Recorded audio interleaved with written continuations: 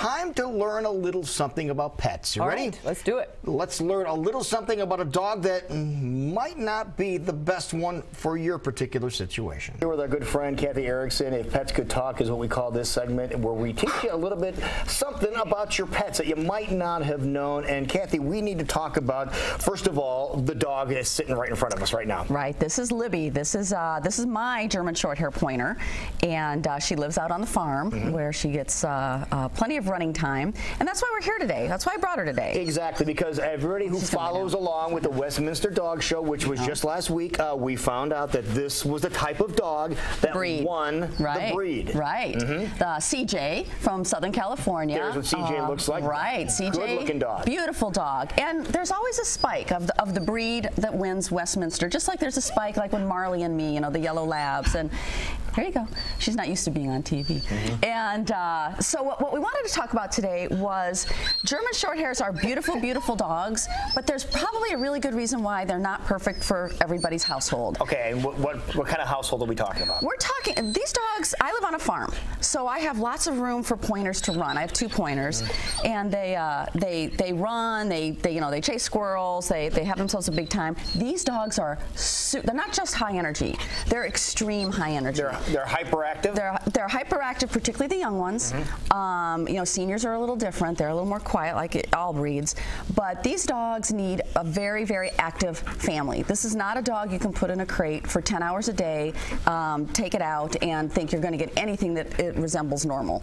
Um, so th- they just um, they require sure they require a lot of attention, a lot of activity. Um, it's funny uh, a Facebook group I'm on for German Shorthair Pointers.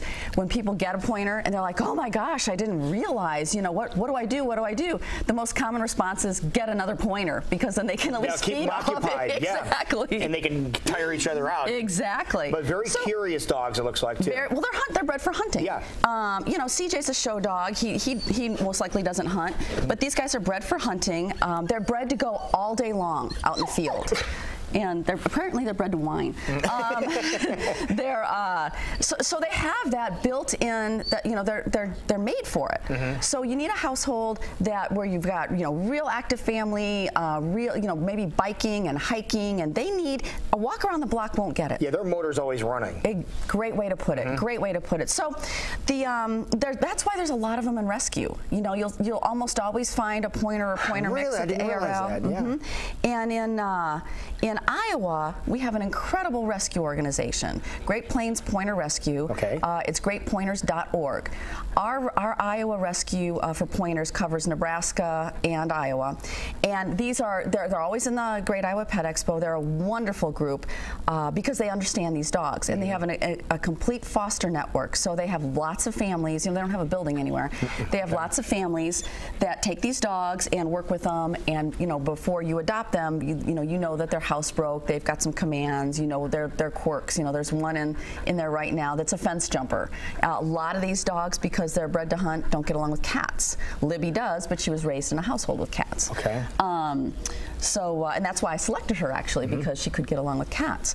So I wanted to talk a little bit about um, Great Plains Pointer Rescue because these uh, the dogs that come out of there are totally vetted.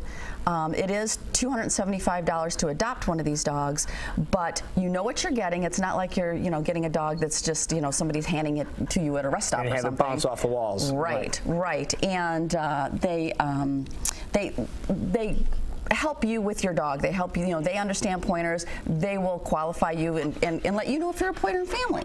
So we've got a couple of them. Uh. Let's take a look at some of these here, shall we? Uh, there we go. Um, Charlie. Charlie came out of a puppy mill. Had been a breeding dog and is now in a in a foster home. Uh, I love Baron. Baron looks a little bit like my English pointer.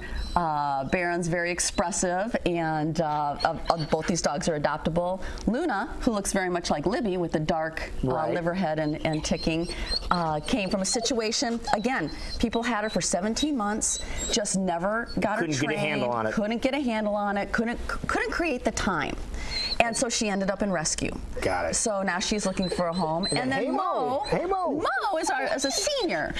Mo is uh, he's an older dog, and I'll tell you, I've I've rescued seniors before, a senior pointer, and they're they're so classy. My my Mm-hmm. So is experience. he slowing down a little bit then? Yes. Mo's slowing down. Mo's, Mo's a quieter dog. He's uh, probably not going to be a dog you're going to have for a long time. You know, it's, Mo may be a two to three year dog. Okay. But the neat thing about the seniors in this in this group is that they um, they're only dollars. okay. Um, to, because to they- give you some incentive to pick them up. Right, right. And the group also, um, um, when you get your dog, it comes, it's totally vaccinated. Everything you can imagine has been taken care of in advance, so your dog is good to go for that next year on the basics. Right. So, uh, so anyway, that's kind of the rundown on German So Shepherd again, just because it was the, the winner at the dog show, people are going to go out looking for him now because Right. that might be their first, first exposure to him. Exactly. They're like, oh my gosh, beautiful dog. I mean, CJ carried himself so classy. Mm-hmm. You know, he's so elegant. And you go, my gosh, I want a dog like that.